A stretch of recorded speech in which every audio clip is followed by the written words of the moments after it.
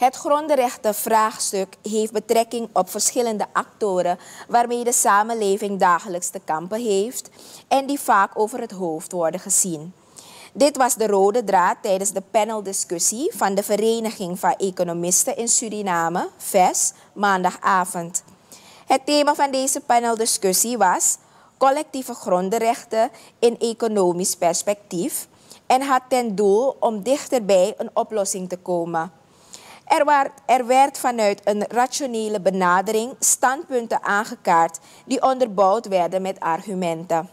De voorzitter van de presidentiële commissie Grondenrechten, Patricia Meulenhof, stelt dat het grondrechtenvraagstuk een sociale complexiteit is en zal er daarom gewerkt moeten worden aan het creëren van de saamhorigheid onder de betrokken actoren. De jurist onderstreept het belang van de erkenning van deze rechten, omdat het samenhangt met het recht op duurzame ontwikkeling, rechtenbescherming en ontwikkeling.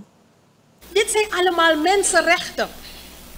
Wanneer we praten over collectieve eigendomsrechten, dan gaat het om een aantal rechten. Recht op de grond is slechts een, een, een deel, een klein deel daarvan. Recht op rechtsbescherming. Als burger moet je de mogelijkheid hebben om naar de rechter te gaan, om de overheid te dwingen om andere maatregelen te treffen, om ook uh, uh, maatregelen te treffen wanneer iets verkeerd gaat. En dat hebben de mensen in het binnenland niet. Het Hof heeft daarom ook gezegd, de grondwet is in strijd met het internationaal recht. Artikel 41 van de grondwet is in strijd met het internationaal recht. Het Hof heeft duidelijk bepaald dat de wet bosbeheer ook in strijd is met, met het internationaal recht. De mijnbouwwet, el decreto, burgerlijk wetboek. Dus iedereen die verwijst naar deze wetten, dat is achterhaald. Het is in strijd en het is al bewezen, we hoeven het niet meer te onderzoeken.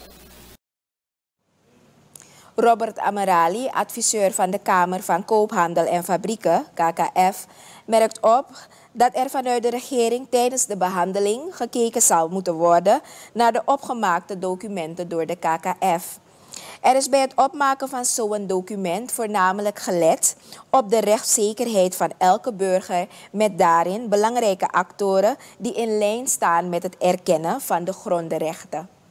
De Kamer van Koophandel en Fabrieken heeft april 2022 een nota geschreven en heeft het naar iedereen gestuurd, ook naar de regering, ook naar die ACT. En wat hebben we gedaan? We zetten ons kop in het zand, we praten niet erover en we gaan die wet behandelen. En dan schreeuwt iedereen, moord en brand. Je mag niet praten. De Kamer van Koophandel en Fabrieken praat over economische ontwikkeling, praat over rechtszekerheid. We hebben toerismewet aangenomen. Weet u wat er is gebeurd? Geen enkel toerist komt meer naar Suriname, toch?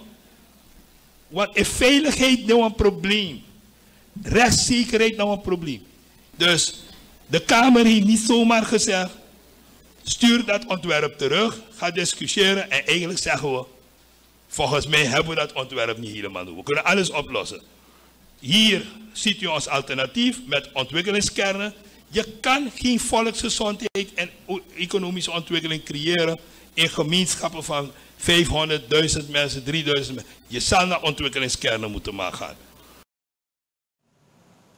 Op de avond waren er ook presentaties van de vertegenwoordigers van de tribale en inheemse volken, met name de FITS en Cosmos. Na de presentaties ontstond er een lange discussie over de werking van de wet.